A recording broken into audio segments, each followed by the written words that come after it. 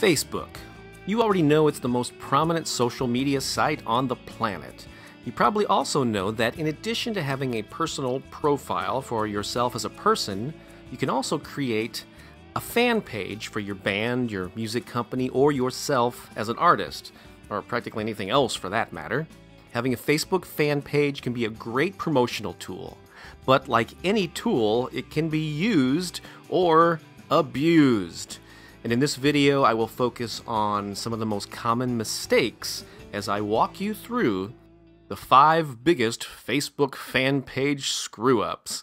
Hi, I'm Bob Baker, and these tips were adapted from an article that ran in my Guerrilla Music Marketing Confidential newsletter. Uh, to learn more about that, you can go to thebuzzfactor.com and you can click on the Music Marketing Mentorship Program uh, icon or the link there to find out more about it. So, are you ready for all those Facebook screw ups? Good, because here we go.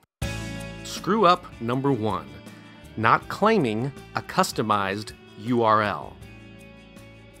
When you first create a new fan page on Facebook, it gives you a funky web page that reads something like this facebook.com slash gobbledygook blah blah blah.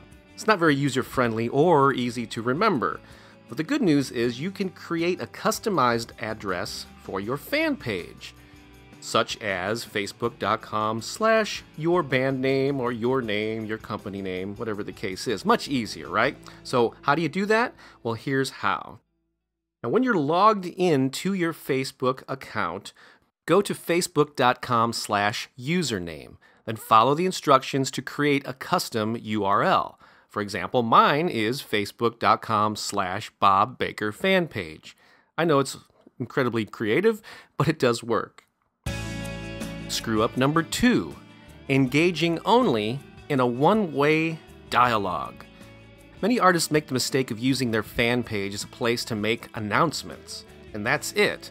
So you end up seeing a lot of updates along the lines of, hey, I'm playing here Saturday night, my new album available now on iTunes, or we just got reviewed in this magazine. Now that's cool stuff that's worth sharing, but it's not very engaging.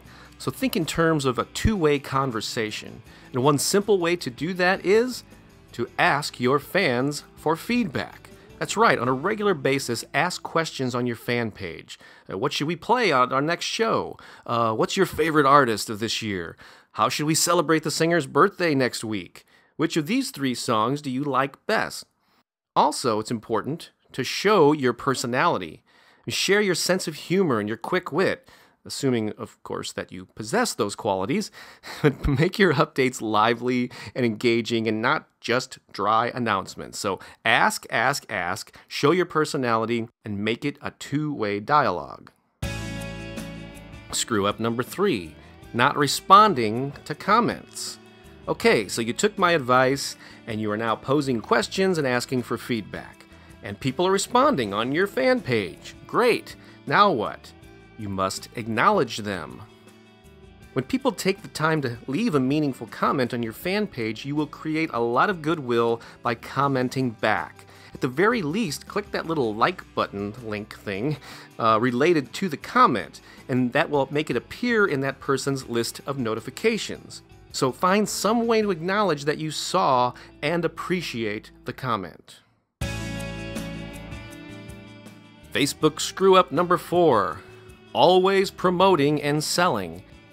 Nothing turns off a fan more than a constant barrage of sales messages, so use your fan page status updates to communicate with your fans, not just promote to them.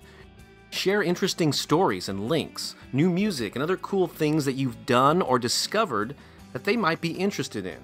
So here's a good motto to keep in mind Share and serve, don't always sell. Memorize that. Okay, screw up number five never selling. On the opposite end of the spectrum from always selling is never selling. And this is a major screw up too. Some creative types are so worried about being perceived as greedy or pushy that they never make people aware that they have stuff for sale. They never give fans the opportunity to support them financially. Don't screw up in this area too. So, while you're delivering value, asking questions, engaging with your fans, and interacting with them, don't forget to make them aware of the cool things that you have for sale. I mean, don't go overboard with sales pitches, but don't shy away from them entirely. Strike a balance. Give your fans an opportunity to help and support you. There you have it the five biggest Facebook fan page screw ups. Now, if you want more tips like this, uh, please visit thebuzzfactor.com. And while you're there, you can get a free copy of my Music Marketing Success Secrets Report. Yeah, I know, say that five times fast. It is called Music Marketing Success Secrets. Absolutely free. It's my gift to you. And all you have to do is go to thebuzzfactor.com right now to grab it. So thanks a lot for watching this. I wish you the best. This is Bob Baker saying so long for now.